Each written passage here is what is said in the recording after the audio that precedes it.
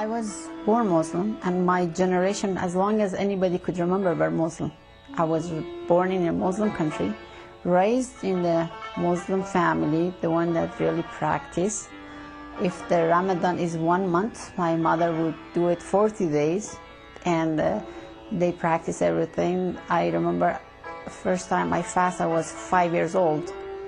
So they would all wake up early in the morning, four o'clock, to do the prayer, everything. Allah was a, a powerful uh, thing that created everything and is watching me whatever I do, wherever I do, and one day is gonna be the judgment day. I have to stand in front of Him and answer everything I have done. And He's gonna count the goodness I have done and the evil thing I have done, and I'm, I will be punished by it. So I was raised very good Muslim and practice it in the school everywhere. Very, very strong believer in Islam. That I would die. I would go because in my country, the, when war started, I was very young, but I put my name as a volunteer to go there in the first line even if they would let me and that much I was believe in belief system that that was the only truth and I really would kill and would die for that faith.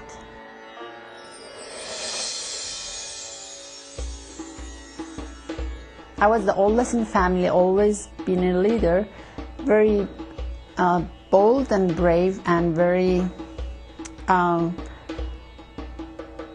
persistence on what I believed. I respected what I believed, and that's why that pushed me forward in the Islamic faith. That I, I reached the point that it was a high level in that faith that I could see things are happening, and they say this is Islam. But then when I got the chance to get into the society and get to know the Islam, it didn't match my heart and the things I believed. So I left my country. I left for so many reasons, and I start searching. I start searching that then who is the who is all these things about? I love God because I was born and raised in loving Him, but when I saw what they are presenting is my faith, it didn't match me. Like I could not believe my God would say kill each other or do all those injustice things. I said this can't be. I will not worship a God like this. I would see my friends, my best friends, my close friends were killed just because they were against. They did not accept this religion. Different belief. They were killed, 15 years, 14 years old. They were mysteriously killed. And I said, if this is what I believe, no, and then I became atheist because people telling me, oh, all those people believe in God because they need something to hang on. Because I thought maybe they are right because I do all those things. I go to all those holy places and I don't feel nothing. I still have that loneliness inside of me and those questions that I can't find any answers, the hunger and the thirst that none of them satisfy me. And probably they're right. Probably it's me who personally is weak and I'm looking for something to hang on or just blame or mm, mm, see the cause of all this misery, whatever. But then again, I couldn't uh, continue to be that. And then there was a time then I just came to the end of it and I said, you know, God, I really am tired, so I'm gonna leave everything alone. I left everything alone and I was really miserable. And one of those rainy days that circumstances really push you, I was just in the street walking and then very sad going to the gas station. I saw this guy, he was a, a street guy, you know, drug addict. And uh, he usually come from, I started talking to him. And then he told me, do you like to dance? I said, sure, I love to dance. And then he told me, you see that church? I said, is that the church? He said, yeah, that's a church. I it doesn't look like a church. He said, yeah, it's a church and they dance all the time. So I went in and that was a born again church. Nobody ever introduced that. Like I was uh, about 12 years searching. No one ever mentioned anything. So this guy, and then I went there, and everybody, it was awesome worship. There is no statue, there was no nothing. It's, it's like a meeting room, and everybody's just dancing and singing, and the pastor came up, no uniform, not none of all those different languages, no candle, and it was awesome. It was awesome, and I felt something because I love dancing. I started dancing and singing, and I felt something. Then I went home, and I was not going to go back like thinking about what is this new thing. It's a new thing. But the pastor announced they have an evening Wednesday, just a prayer thing for healing or whatever. So Wednesday, I just start thinking, should I go? I should not go. Should I go? And something is stopping me. And I just said, no, I'm gonna go see what is in the evening Wednesday because all I know is Sunday services, right? First time church on evening Wednesday. So that was the second time at uh, about a week later. I just went on my knees and I cried so hard. I said, if you were there, like, what is the truth? I mean, what is the truth? I'm so tired. It's been like all my life up to now, and I don't know what is it. And then I got transformed.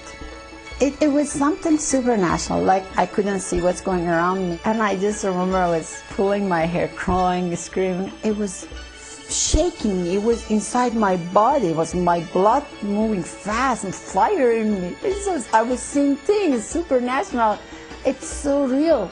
I mean, so true and then I that was that when I saw uh, the Lord and He said, "I'm the only truth.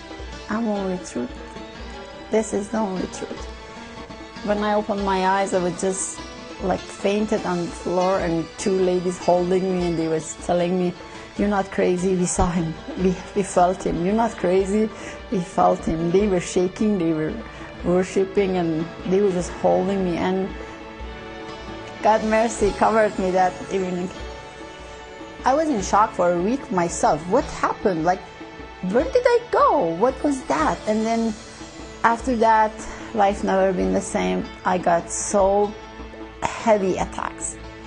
It took two years for me to be baptized in the water, and but I never feel lonely. I'm never alone, never like inside of me. I always know Holy Spirit is there. I always, it's, it's such a beautiful security I have now. I'm not mentioning that all Jesus Lord bought all my sins. That's a great gift. I mean, that's only is enough for me to have joy all day and night and dance and walk and dancing. Oh God, He shed His blood for me and for my sins. There was time in my life that I would go stand in front of mirror and I would say, I saw him. I'm not gonna go back. I saw him with my eyes. No matter what happens, I'm not gonna go back. When you don't have the Christ, you are walking in darkness without knowing it because when you are in darkness, you get used to it after a while. When you open your eyes, you can see things actually, but you are in darkness. And um, you never know you are in darkness. And when you receive Jesus, all of a sudden there is a light. It's a freedom. It's so free of everything.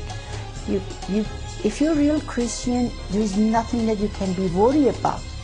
That's the biggest change in my life.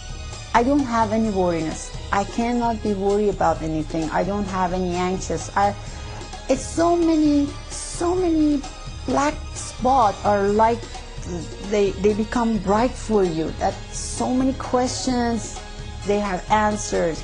What's the purpose of being on this earth? Um, why why my life is like that? Why my parents are this? Why I am this color? Why I was born in this point of country? Everything has an answer then.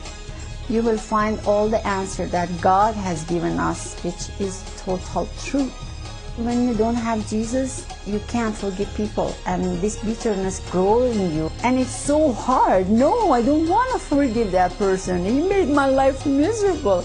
But Jesus, Lord says, if you don't, how how could Father forgive you? Oh no, I want Father forgive me. Out of obedience, when I did it, God gave me the strength and then filled it, the empty place with love.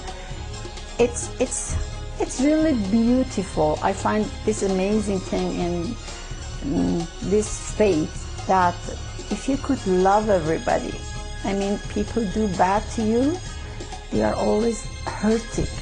If you look at them like they are bleeding because they have wounds, and you just treat them with love and forgive them and just be kind to them, that changes them and also it's a beauty, it makes the whole society different.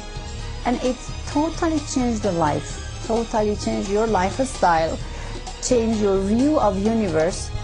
Uh, everything makes sense. And for me, that, that is really great.